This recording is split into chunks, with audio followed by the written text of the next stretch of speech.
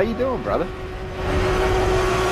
That's what I'm What's up, fucking monster? talking. Dude, I was like, woo! Dude, how I snuck by these guys, I had no fucking idea. That was a good race.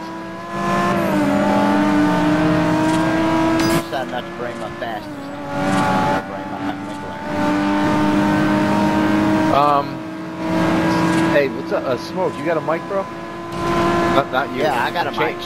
Chain smoking. No, wrong mic. Chain smoking. Listen, dude. The other night, man, you, you kind of rubbed me, so I rubbed you into the trees. I apologize. I, I thought you were doing it on purpose. So I'll just be a man and just say, yo, I, it's it's it's it's it's good, man. Just don't worry. Sorry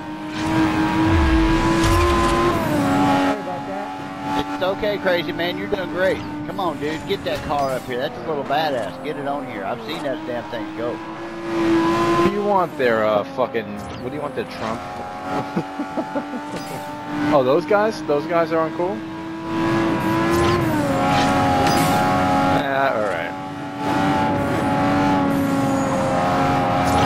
They don't know the big. They don't get the big Monday. picture.